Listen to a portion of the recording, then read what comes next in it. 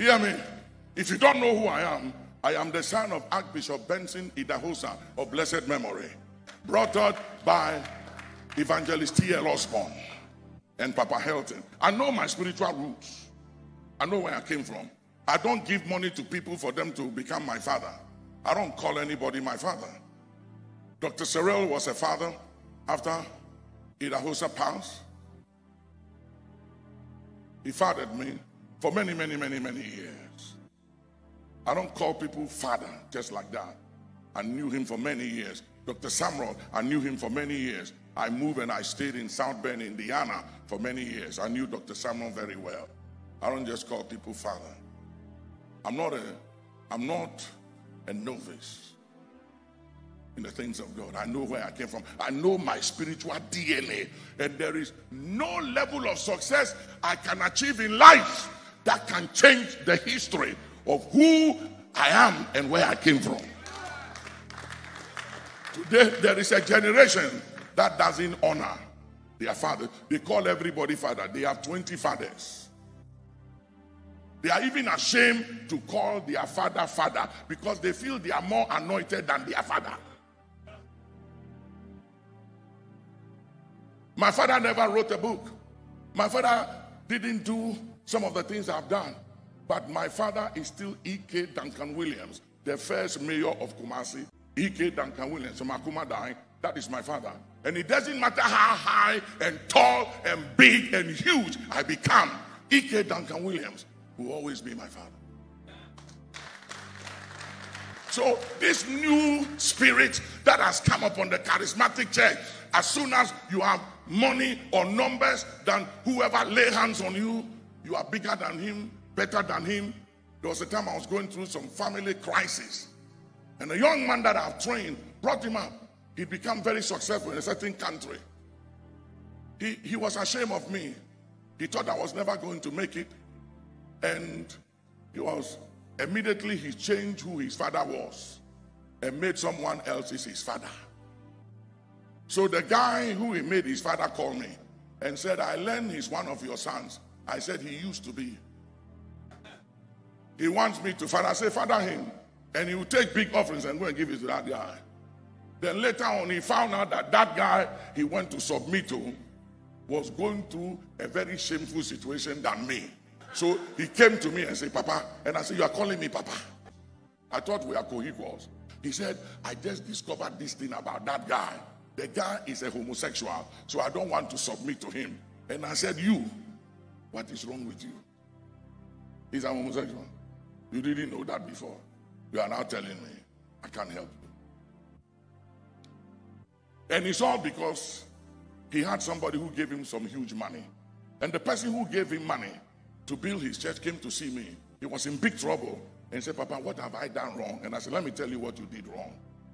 You helped a servant to ride on the horses of princes, and you are paying for the implications for that.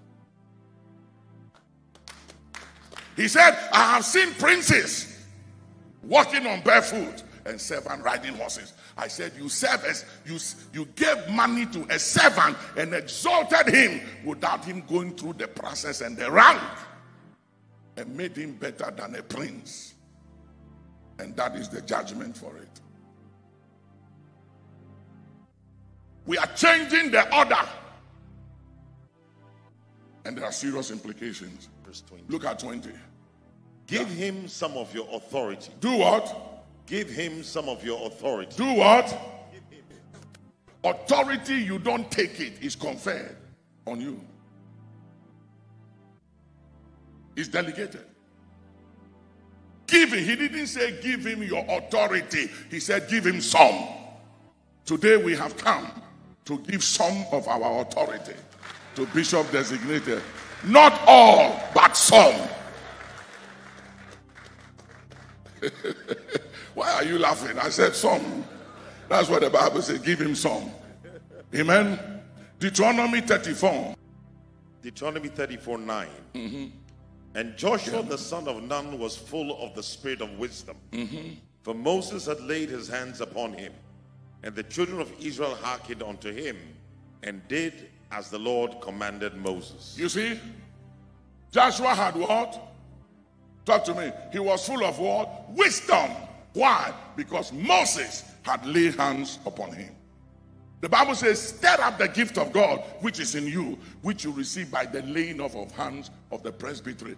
It's, listen, somebody said, Well, I was reading his book and the mantle came on me. No, no, no, no, no, no. You are changing the order. No. When you read my book, you get my knowledge and my revelation, but you don't get my mantle.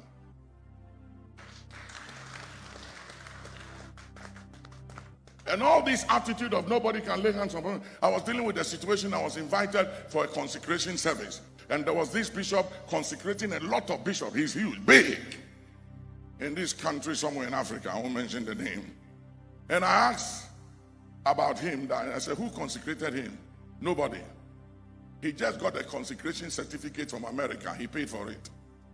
So they gave him certificate of consecration by an organization. He paid for it. $2,000, but nobody consecrated him. And I said, I cannot join the consecration because I don't know where he's coming from. I don't know his spiritual DNA. How can you consecrate others when you haven't been consecrated? How can you lay hands on others when no one has laid hands on you? How can you ordain others when no one has ordained you? You are a hypocrite. So I said, I'm sorry. Oh, they, will give me big man. I said, I said, listen, I don't preach for money anymore. I used to when I was a young preacher. I don't preach for money anymore. Yeah, God blesses me with money everywhere.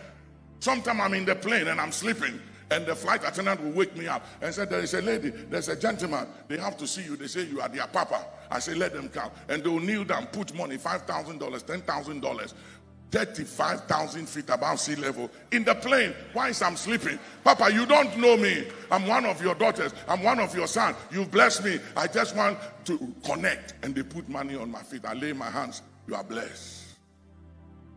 I was going, I went to a hotel in Accra and I was going to use the restroom, Holiday Inn. And I saw this gentleman following me. I didn't like the way he was following me. And I did some martial art. So I started exercising and checking myself if the anointing is still there. Just in case he tries everything, I can block him and override him.